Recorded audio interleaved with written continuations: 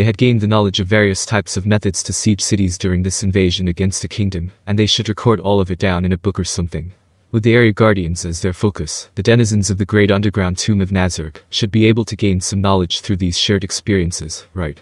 Of course, as the saying goes, a picture is worth a thousand words. Those who had experienced something firsthand could learn more from it than those who had only heard about it afterwards.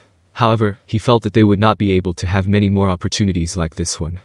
Now then, floor guardians, from this day onwards, try to come up with as many unique strategies to siege cities. Demiurge and Albedo, both of you are far too brilliant for this, so just listen and note down the others' proposals. From my perspective, up till now Shalltear has been the most creative in her strategies. This Is Ainz Sama talking about how I use the frost dragons to drop soldiers in from the sky Rinsu? That is correct. I believe that it was because I had entrusted Shalltear with all the transportation-related tasks that she was able to come up with that idea. With this tactic as the basis, we could organize, what was it called again? Paratroops. To be able to organize something like that isn't bad at all.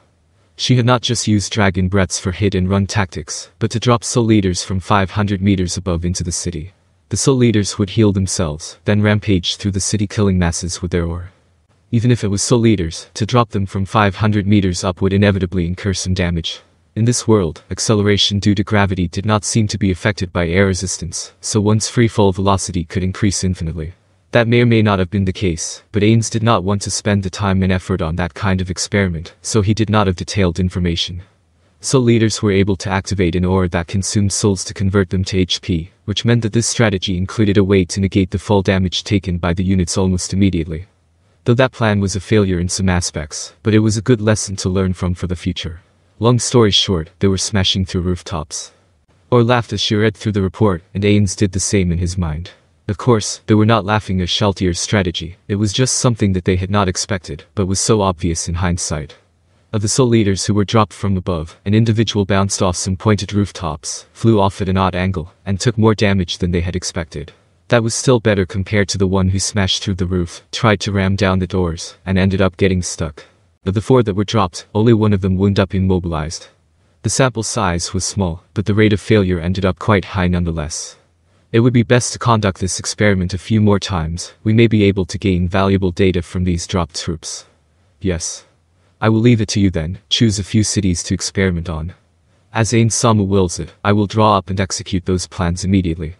The other details that caught Ainz's eye included how 300 Elder Liches were used to carpet bomb a city by synchronizing their fireball spells, and how assassins were sent to assassinate the head of a city, whereupon the invasion would commence whilst the city was plunged into chaos. These records on the methods they had used to destroy the cities were not just useful to educate the area guardians, but they were also useful as a study of what strategies an enemy could employ to invade Nazarick. Ainz sighed internally. Perhaps the guardians thought that he was being too paranoid. If Nazarick was truly invincible, there would be no need to do these things, but that could not be possible. Absolutely impossible. This is to prepare for our inevitable fight against a guild that is as strong if not stronger than us. After Ainz had finished speaking, the Guardians responded that they would obey in unison. Now then, it is about time that we begin our next siege. Ainz glanced at Albedo, because Ainz did not have eyeballs, most people could not notice that his gaze was on them. He had to turn his head to face them most of the time, but Albedo was perceptive enough to notice without him doing so. Albedo nodded in a manner that seemed to convey the message. It is just as Ainz Sama has said. Speaking of which, Ainz Sama. The amount of troops we have deployed for this war seemed to be scant. What was the reason for that? Ainz immediately froze up. He could not think up an answer to such a logical question.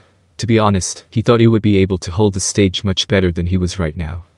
Demiurge and Albedo had not been raising any questions. He had hoped that Cocytus and the rest would do the same too. So that's why.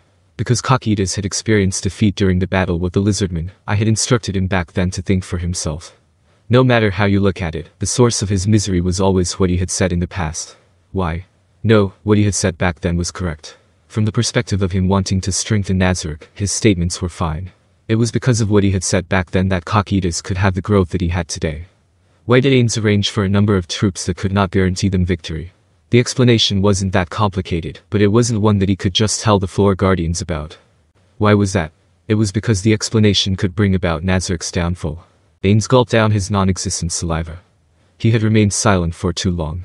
He had to say something, something that would seem to make sense. Speaking of which, it was the same when we were storming the neighboring towns and cities. A small portion of the people were allowed to escape, right? What was the reason for that? Kakida's and Aura's questions were to be expected. Perhaps there are others amongst you who have had the same questions in mind. Ainz surveyed those in front of him to be met with every floor guardian nodding their heads. I see. Well, let us observe how our first battle will unfold. Afterwards, I will tell you the reason why. Ainz was just dragging things out, leaving these bothersome problems for his future self. Situated at the north end of the kingdom facing the Rinse Sea was the city of Enor. It was the largest city within Earl Na's domain, a city that was blessed by the sea. Even though it was the largest city within the domain, if you were to head east across the domain's border, you would not be too far off from the city famous for its naval port, Riravia. That city had more landmass and ship stock within its ports. The only advantage Inoru had over that city was probably that it had better fish hulls. That is to say, Inoru was of no strategic purposes whatsoever. It was safe to say that gourmets were the ones who accentuated the true value of Enor. Earl Na's lineage had been researching seafood for generations in order to secure the bragging rights that they had the best seafood in the entire kingdom. Said research produced a sauce, made by mixing soy sauce and honey, used to glaze over other ingredients. He had to be controlled precisely during the grilling process to prevent the sauce from burning. All of this cumulated into the creation of Enor-style grilled fish, a story that was quite widespread. The atmosphere of such a city remained the same regardless of the declaration of war up till a few days ago. Fishermen still sailed out to fish, and the markets were still packed with people shopping for fresh fish and shellfish. Other than the decrease in the number of traveling merchants on the streets, life went on as usual in the city. It was inevitable that no one took any special actions.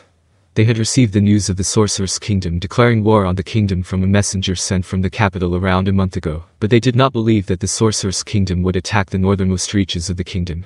By conventional logic, before that happened, the capital would have fallen and ended the war. There were also other major cities neighboring them that belonged to other domains, never mind the numerous villages within their own domain. The Sorcerer's Kingdom would have to go through them before they got to this city. If and when the war reached them, they should receive requests for aid from those towns first. That was why they did not attempt to bolster defenses, the most they did was make preparations to send their levies. However, things did not turn out the way they had expected. The neighboring baron, a few of his subordinates, and the rest of his family, had hurriedly escaped to Enor. The Baron's explanation was simple. Some undead suddenly showed up and slaughtered every single civilian in my domain. The undead could spawn naturally, and ones that could destroy entire villages were not unheard of. But, for such a strong undead to naturally spawn took time. Excluding the Katze Plains, numerous weaker undead would have to occupy a place before there was even a chance for stronger undead to show up.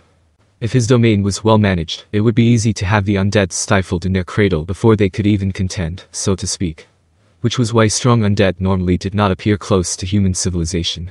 There were only two exceptions to this rule. Either there was an evil magic caster who could control the undead close by, or that undead had traveled there from some faraway land. If that was the case, there was only one person that came to mind. Ainz Ooal Gown, the Sorcerer King. They must have also received the intel that the war was declared. If they were to treat that undead as part of the Sorcerer's Kingdom's army, everything made sense. Except, questions kept arising one after another. What about the other neighboring cities? How numerous are the enemy's forces? What kind of an undead army is it? What happened to the capital? Questions other than those kept on surfacing, but there were more important matters to tend to before they could deduce the answers to those questions. After they had listened to the Baron's retelling in detail and analyzed the intel they had on hand, they predicted that Enor was on the path that the undead would march through to invade the kingdom. They immediately send messengers on fast horses to every village and town within their domain, ordering them to evacuate. With the information they had, they could not tell for what purpose was the Sorceress Kingdom's army marching towards such a remote port. Perhaps it was because the Sorceress Kingdom was a landlocked nation and wanted to get their hands on a port city immediately, so they chose to attack such an unfortified place. Perhaps they were hoping to use Enor as a staging ground for their future war efforts. Though it was still dangerous for people to evacuate to the city, there weren't many who could outrun the ever-encroaching army of the Sorceress Kingdom and make it to the other domains. In the end, the vast majority of people chose to stay within the somewhat defended walls of Enor.